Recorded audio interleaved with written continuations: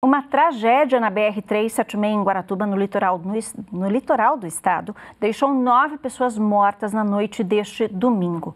Um caminhão container tombou sobre uma van em que estavam as vítimas, atletas de remo de Pelotas, no Rio Grande do Sul, a maioria deles adolescentes, que retornavam de uma competição em São Paulo. Segundo a Polícia Rodoviária Federal, a carreta era conduzida por um homem de 30 anos que se feriu levemente. O veículo teria perdido os freios, colidido na traseira da van e, após a batida, a van rodou na pista e saiu para o canteiro e foi esmagada pelo container que tombou sobre o veículo.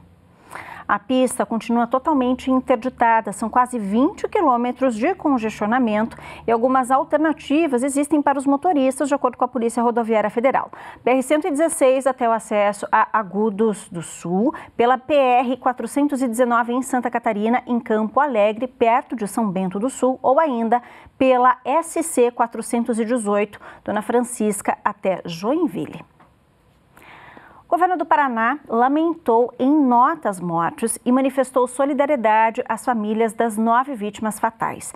O Estado colocou à disposição sua estrutura de atendimento da ocorrência. Além do Corpo de Bombeiros Militares do Paraná, que faz o resgate das vítimas, uma equipe da Polícia Científica do Paraná está no local desde a noite deste domingo, prestando suporte nas ações de resgate e de identificação das vítimas. A Polícia Civil aqui do Paraná já iniciou as investigações investigações das causas deste acidente. A apuração está a cargo da Delegacia de Delitos de Trânsito, o DDTRAN.